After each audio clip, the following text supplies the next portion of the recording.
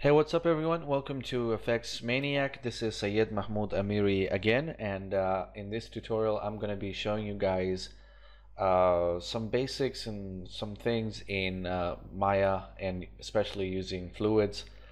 Uh, so we'll be basically doing these two examples, one which will be like this one, and I'll be explaining a couple of things along the way in doing something like this. And the other one would be this, so kind of like a character, you know, on fire sort of an effect.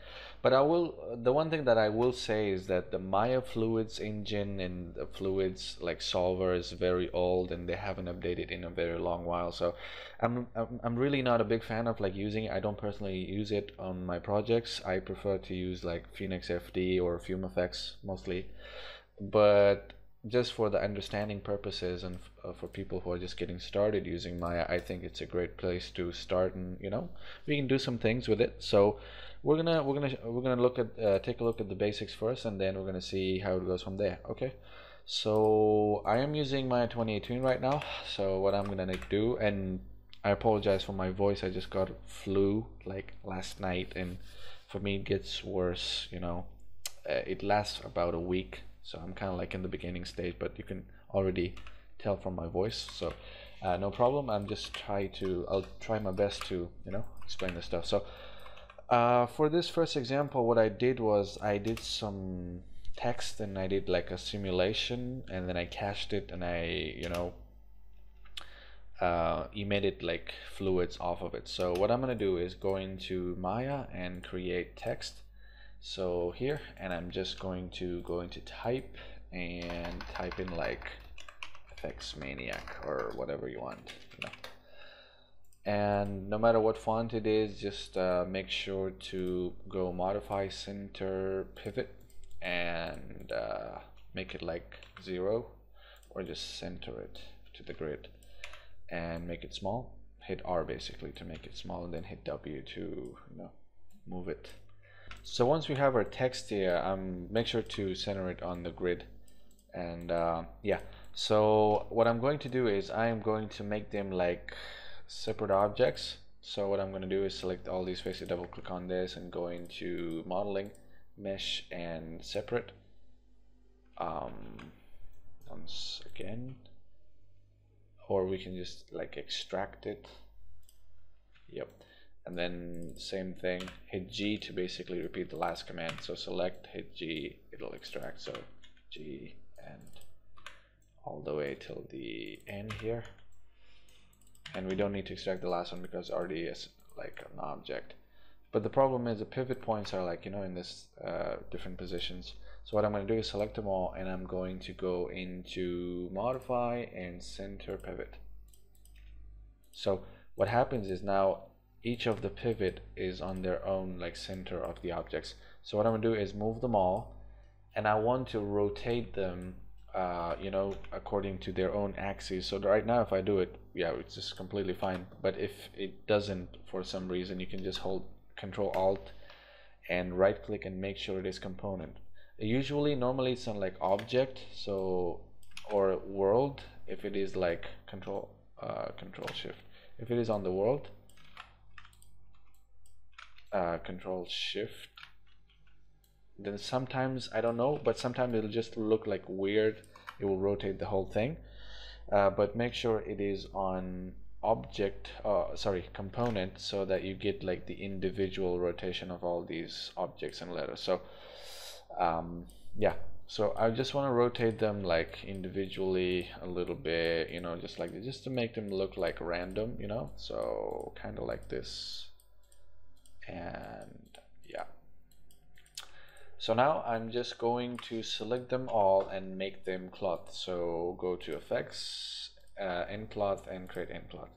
So now we have the cloth but the thing is they're just going to eternity. We want them to basically collide with this flow so what I'm going to do is I'm going to go into the outliner and select the nucleus and make sure hit control A for the attributes make sure to turn on this option on the ground plane use plane.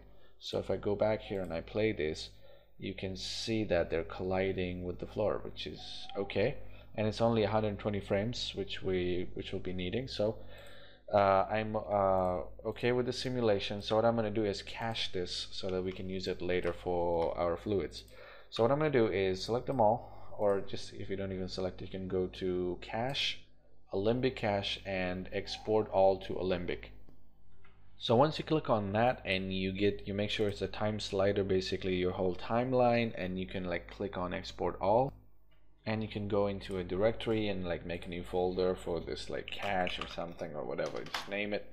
And then name it like D or anything I don't care. So it will basically export those frames um, you know as cache file so that like you can use it later as an object and it doesn't have to like calculate it over and over again so uh, we'll let that finish which is actually done so what I'm going to go and create a new scene so once we're in the new scene, I'm just going to go into cache Alembic cache and click on import Alembic. We'll go into the same folder, the cache and D, and I'm going to import. And I'll delete this uh, these things. We actually actually may have a camera too, so I'm just going to like delete it. Yeah, so it basically exports everything, right? So yeah, this is the thing. Nucleus, we don't need it. So we got our simulation. Now want we want to emit some fluids off of this. So what I'm going to do is go into the fluids and 3D container. And the container is basically the area which is used for the simulation. So it's it's basically it's going to be roughly the size of your you know the, the area that you want to simulate. So anything that is outside the container is not going to be calculated or anything. So uh, this is basically your grid and if I preview this or if I select this first if I preview you can see by default we have this little emitter here which we can just select and you know it just it, it has to have something to emit smoke or fluids off of. So it's basically there's a default emitter and we want to emit from those objects okay? So what we can do is we can select all these objects and select the grid and uh, both of them are selected. So what I'm going to do right now is I'm gonna go into the fluids menu and I'm going to add edit contents and emit from object. Um, we haven't selected okay uh, maybe we have selected the emitter too so we can we can just select it and delete this emitter and select all the objects in the grid. Shift and going to add edit contents emit from object. Front shape not found. What is this? Go go back here. Select all of them and select this um, fluids and edit content emit from object. Now it is working. Okay so now if I play this you can see that we got some fluids you know emitting from object but it's very very low quality. And why is that? Because our grid resolution is uh, base resolution is very low. So if I increase this and I go back make sure not to increase it like crazily so much maybe like 60 you can see that the cells are getting better and that's what necessarily increasing the resolution of the grid right? So you can you can go into display and you can go to the boundary draw and you can say full. So now you can see how the grid is looking right? So this is like a you know cubic grid right now.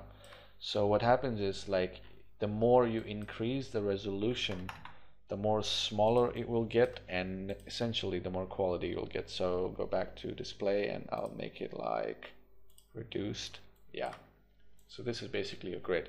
So now if I if I play this you can see that we have a lot more quality but then the simulation is also taking a lot more time. So that's the thing that you need to keep in mind. And in these fluid simulations, the key thing is actually finding the right value that works and you know getting the highest quality possible and you know at the same time optimizing the simulation times.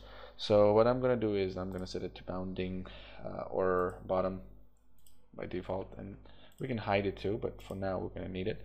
So you can see that some smoke is emitting off of it and uh, I need to like decrease this a little bit for the tutorial so maybe like 70 go back here and uh, see? It is working as it should but then it's also when it hits the boundaries of the grid it just you know kind of collides with the boundaries of the grid.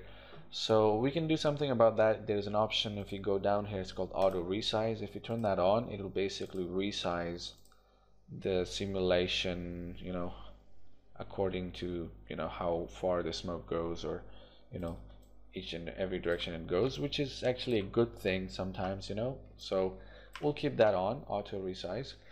And then the other thing is the most important thing here comes in the content details.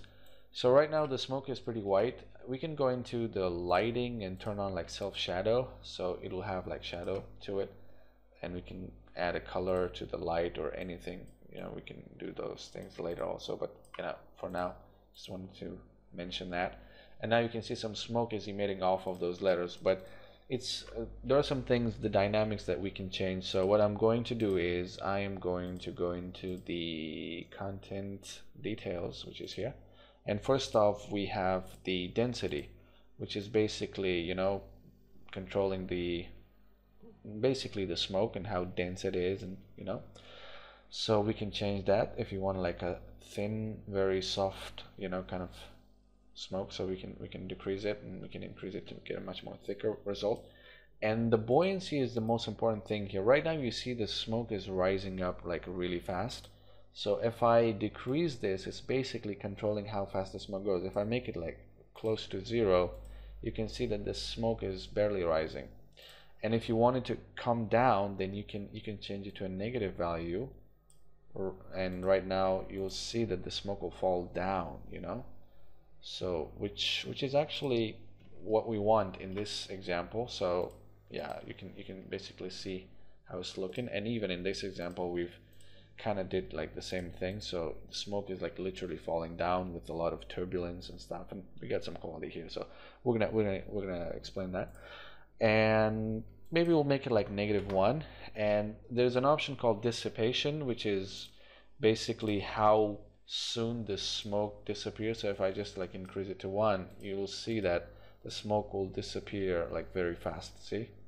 Which sometimes is good. We don't if you don't want the smoke to last very long but like as we see in this example uh, it does it does kind of disappear. So maybe we'll make it make it like uh, not the buoyancy the dissipation to like 0.4 and there's some other options like you can add some noise to this make it a lot more noisier which you can probably see right now because we got like less quality. So what I'm gonna do is increase the quality to like a hundred percent. Uh, not percent just a hundred the value. And yeah we got that basic sort of uh, scene that example. If you want to hide the grid you can hide it and um, if you want to do some other things so there's another option called the velocity which you can add some swirl you know some swirly sort of movement to the smoke which will make it look better.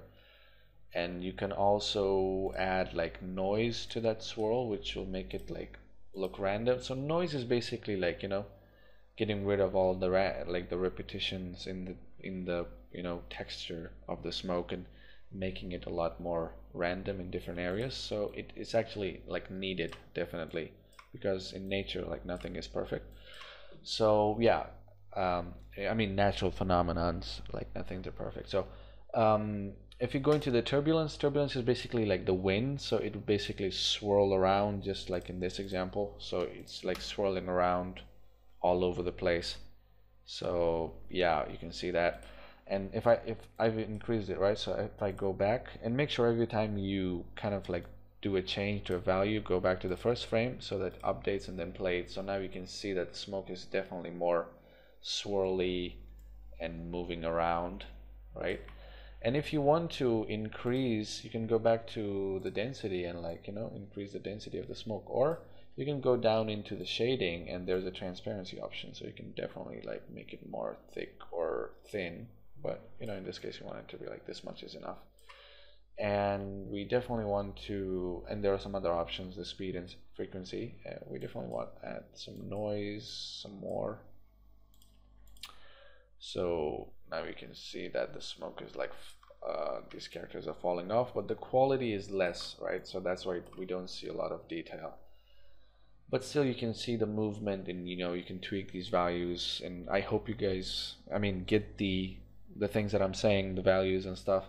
You can also go into the Autodesk website and get a very good and detailed information about all of these you know parameters and what each of each and every one of them do.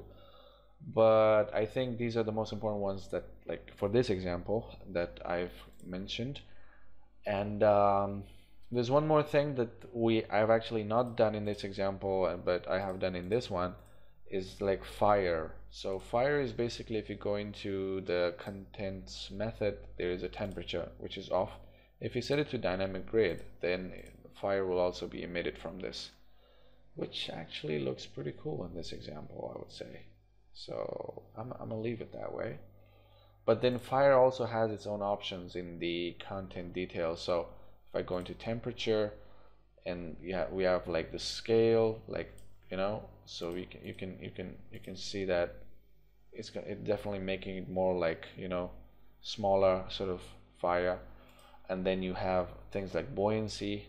Buoyancy we do want it to come down so you can you can set it to like a negative value. So now the fire also will kind of uh, you know fall down just like that.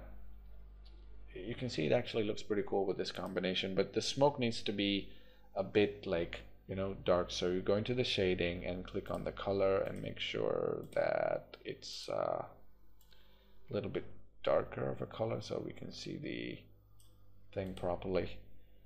The fire and then we can increase the light or decrease or do whatever to make it make it look you know better. But we definitely need a lot more quality. You can see that we don't have enough so um, yeah you can play around with the settings and get the the result. We can also add some noise to the temperature so that the fire is kind of like you know random and kind of noisy. Um, and yeah that's basically you know the basic things that you need to do to be able to kind of you know to find your own sort of example. So it it it, it, it kind of like it it's different on different examples that you want to do you know if you're creating an explosion you need different you know uh, settings. If you're like doing a fire or or whatever you know it's different on different like effects. But yeah once you get the idea you can tweak them as you need them.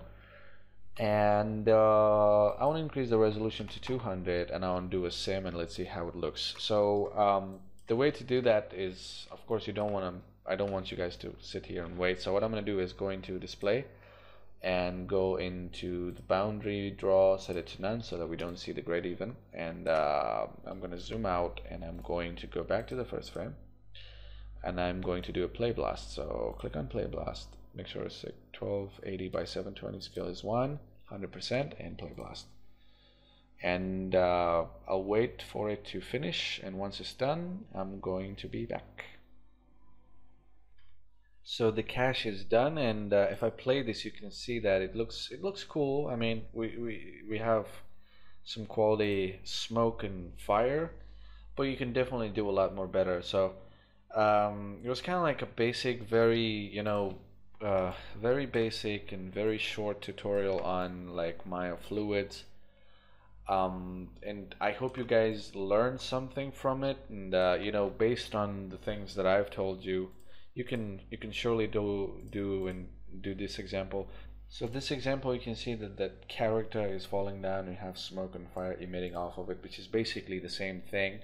And the character is animated and I got it off of Mixamo so if you go there and it's uh, you can can log in for free and you can choose a character in the characters and then you can you can choose an animation like dancing and it'll do. And you can download the FBX and use it in Maya in any software you want. So uh, that's basically it but uh, as I said in the beginning of this tutorial I do prefer using plugins especially Phoenix FD or something like FumeFX for this kind of things because they give you a lot more uh, you know you know high quality simulations and a lot more better settings than this but you know it, this is something built into Maya and you know you can you can play around get some good results too. So so this is basically it for today's tutorial and I hope you guys enjoyed this tutorial and most importantly learned something from it. So some of you were asking about some basics of like Maya dynamics and stuff and I hope it it kind of got you started with uh, fluids inside of Maya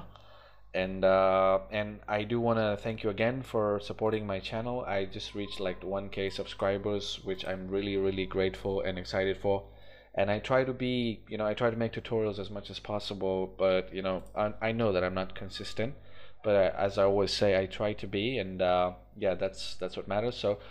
Um, uh, thank you again for subscribing to my channel and you know keep liking the videos keep commenting any questions any ideas you might be having for the upcoming tutorials, I'll try to do it. And uh, as always, till next time, enjoy working.